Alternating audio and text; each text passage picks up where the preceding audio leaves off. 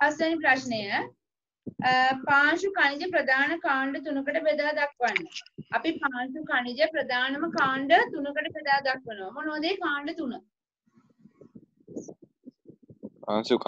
ස්කන්ධය අනුව විස්කම්භය අනුව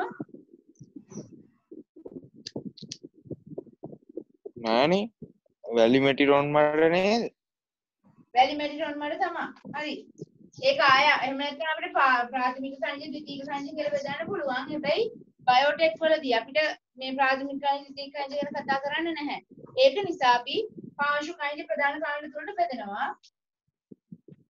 විශාලත්වය අනුව ඒ තුන අනිවාර්යෙන් මතක තියෙන්න ඕනේ. වැලි රොන් මඩ සහ මැටි. මෙන්න මේ ප්‍රධාන පාංශු කණිජ තුන තමයි නම් කරන්න කියලා ඔතන කතා කරේ.